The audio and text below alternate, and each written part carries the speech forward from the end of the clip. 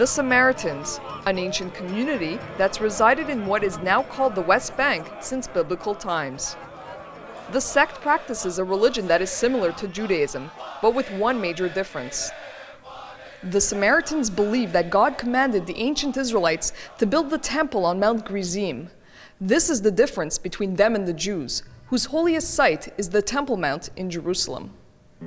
The Samaritans trace their ancestry to the ancient Israelite tribes of Ephraim, Manasseh, and Levi.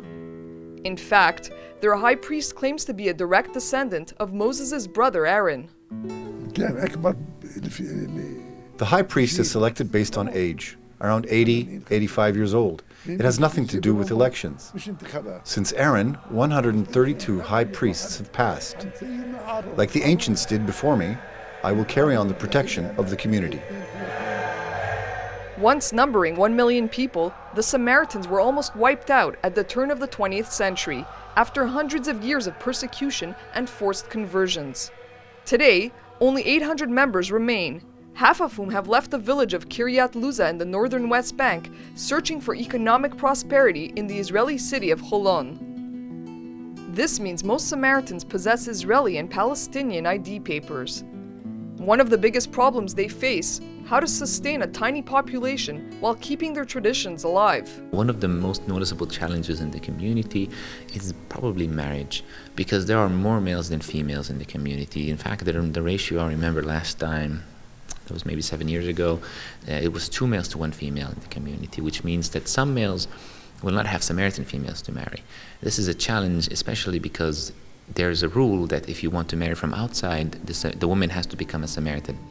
For outsider women, becoming a Samaritan involves strict religious rituals, like observing the Sabbath and upholding ritual purity. For example, during her menstrual period, a Samaritan woman is forbidden from coming into physical contact with anyone. Today we have about 10 from Ukraine who became Samaritans and who are actually, you know, who are loving the community here and who did have uh, maybe at first some um, difficulties, but it really gets easier as time passes by and as it becomes a part of your life. Three times per year, they make a pilgrimage to the top of their holy mountain, including Sukkot, the Feast of Tabernacles. On this holiday, Samaritans decorate their homes with citrus fruits and welcome their Palestinian and Jewish neighbors for festive meals. We are a bridge of peace for all the nations. What does this mean?